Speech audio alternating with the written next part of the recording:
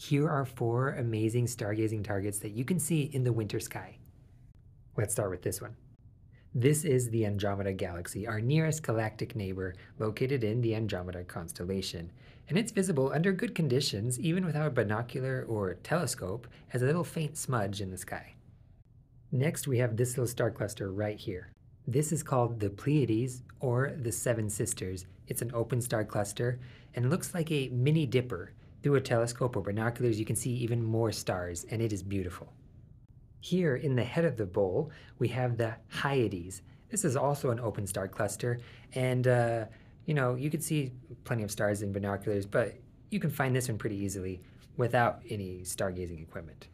Finally, right here, we have the Orion Nebula. This beautiful star-forming region in Orion's sword is a great target for telescopes, but can also be seen with the naked eye as a faint smudge. Go check them out.